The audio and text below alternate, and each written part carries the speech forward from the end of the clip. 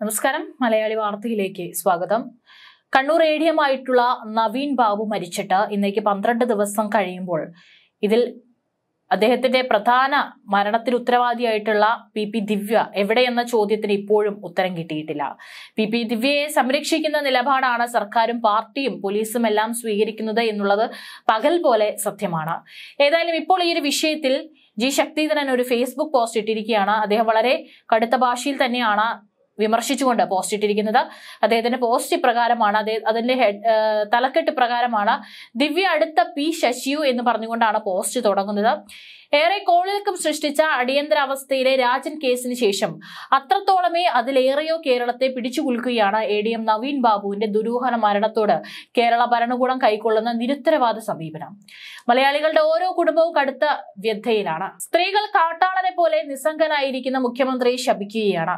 മുഖ്യമന്ത്രി മാപ്പർഹിക്കാത്ത ക്രൂരതയാണ് നിരാലംബരായ എ ഡി എം നവീൻ ബാബുവിന്റെ കുടുംബത്തോട് കാണിക്കുന്നതെന്ന് ജനങ്ങളാകെ പഴിക്കുന്നു. ഫാരിസ് അബൂബക്കറിനെ പോലെ ഏതെങ്കിലും ശതകോടീശ്വരന്റെ കുടുംബത്തിൽ ആരെങ്കിലും മരിച്ചാൽ മുഖ്യമന്ത്രി അവിടെ പറന്നെത്തും. പക്ഷേ ഈ ഹതഭാഗ്യർ മുഖ്യമന്ത്രിക്ക് ആരുമല്ല. മനുഷ്യരൂപവും ആ കോലവുമേ ഉള്ളൂ. ഹൃദയത്തിന്റെ സ്ഥാനത്ത് മറ്റെന്തോ ആണ്?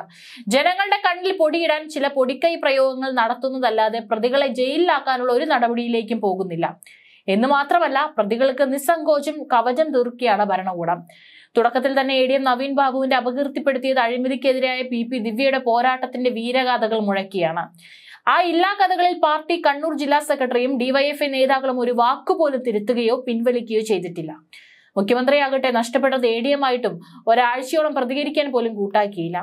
വെള്ളാപ്പള്ളി നടേശൻ എന്ന സമുദായ നേതാവിന്റെ മകൻ ചെക്ക് കേസിൽ ഗൾഫിൽ ജയിലിലായപ്പോൾ തൽക്ഷണം കേന്ദ്ര വിദേശകാര്യമന്ത്രിയെ ഇടപെടുത്തി രക്ഷിച്ച മുഖ്യമന്ത്രിക്ക്. സർവീസിൽ കളങ്കരഹിതനായി മാതൃകാപരമായി പ്രവർത്തിച്ച എ ഡി എമ്മിന്റെ ജീവിതത്തിന് എന്ത് വില? സ്വന്തം പാർട്ടിയിലെ താടകയെ നിയമത്തിന്റെ കൈകളിൽ എത്തിക്കാതെ സംരക്ഷിച്ചു നിർത്തുന്നതിൽ എന്താണ് ഇത്ര ആവേശം? പോലീസ് സേനയും മറ്റ് അന്വേഷണ ഏജൻസികളും എല്ലാം കൈവെള്ളയിൽ ഉണ്ടായിട്ടും പൊക്കിയെടുത്ത് ജയിലിലടയ്ക്കാൻ എത്ര സമയം വേണം മുഖ്യമന്ത്രിക്ക്? എന്നിട്ട് പറയുന്നു ഗീർവാണമോ? സർക്കാരും പാർട്ടിയും എല്ലാ എ ഡി എമ്മിന്റെ കുടുംബത്തോടൊപ്പമാണെന്നും എന്തൊരു വഞ്ചന. തനി ഒറ്റുകാരന്റെ പണിയാണ് മുഖ്യമന്ത്രി ചെയ്യുന്നത്. കെ കെ നവീൻ ബാബു ജീവനൊടുക്കിയത് ഒക്ടോബർ പതിനഞ്ചിനായിരുന്നല്ലോ.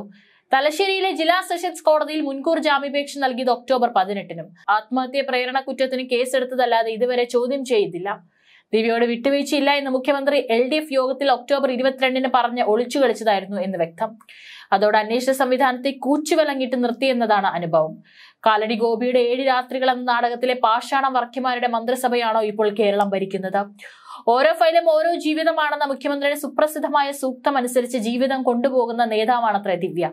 കോടതിയിൽ കൊടുത്ത ഈ മൊഴി സത്യമാണെങ്കിൽ ഇനിയും ഇത്തരത്തിലുള്ള എത്ര ജഡങ്ങൾ കാണേണ്ടി വരും? മുഖ്യമന്ത്രിയുടെ ബൈബിളാണ് ദിവ്യ. കേരളത്തിന്റെ യക്ഷിയായി കാഴ്ത്തപ്പെടുകയും ചെയ്യും. ഒരുപക്ഷെ ഇപ്പോൾ സ്ഥാനം തെറിച്ചാലും അടുത്ത പി ശശിയുടെ ഇടം പിണറായി വിജയൻ നൽകിക്കൂടാ എന്നിൽ പറഞ്ഞുകൊണ്ടാണ് ജി ശക്തിധരൻ പോസ്റ്റ് അവസാനിപ്പിക്കുന്നത്.